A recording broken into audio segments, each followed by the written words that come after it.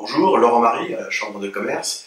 Je voulais profiter de ce moment pour vous rappeler que nous organisons régulièrement des ateliers destinés aux commerçants pour les aider à améliorer leur visibilité sur Internet. Les prochains thèmes que nous allons organiser euh, dès lundi sera, vont concerner les réseaux sociaux ou les annuaires comme Google Business ou les pages jaunes.